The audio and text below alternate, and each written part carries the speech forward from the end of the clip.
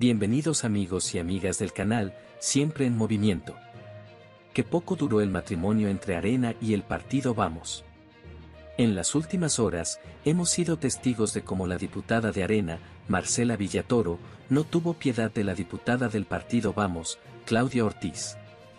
En una fuerte declaración, la diputada de Arena, criticó a su colega Claudia Ortiz en relación al manejo de fondos públicos.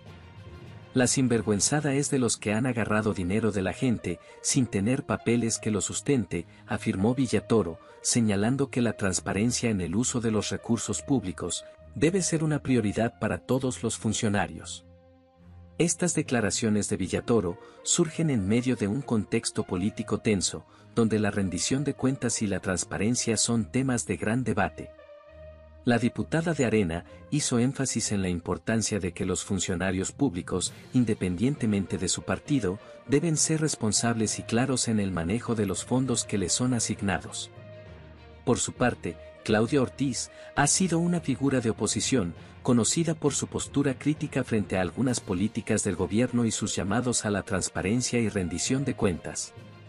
A continuación, las declaraciones de la diputada del Partido Tricolor.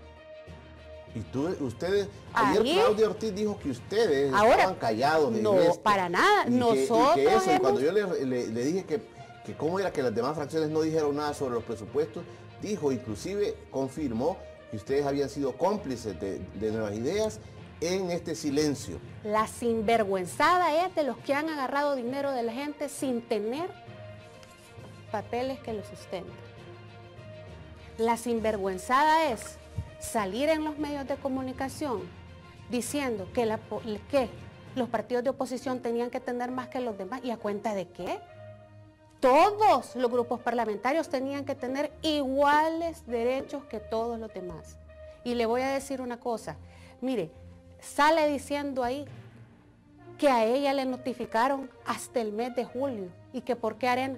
Porque Arena pedía por escrito las cosas después de que el presidente dio la cadena donde él decía que se iba a hacer la reducción del presupuesto de los diputados, aquí mandé yo una nota a la Junta Directiva con fecha 15 de julio y le digo aquí, saludándoles cordialmente, solicito acuerdo mediante el cual se efectúa reducción al presupuesto asignado para el funcionamiento del grupo parlamentario que represento. Aquí está mi nota.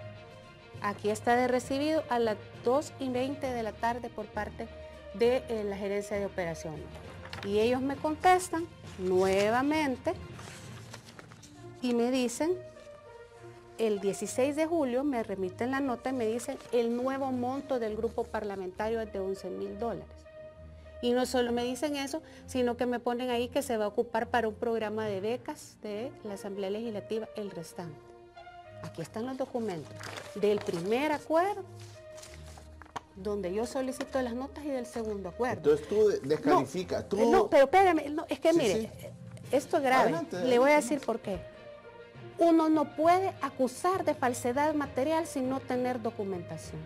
Eso es grave y es una ilegalidad y eso cualquier persona que falsifique un documento puede ir presa.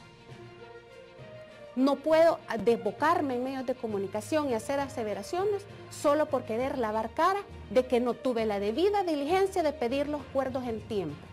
Ella y el grupo parlamentario, vamos, yo aquí tengo la nota de ellos porque ellos lo han subido a su portal y pregunté también. Y ellos hasta el 15 de julio de este año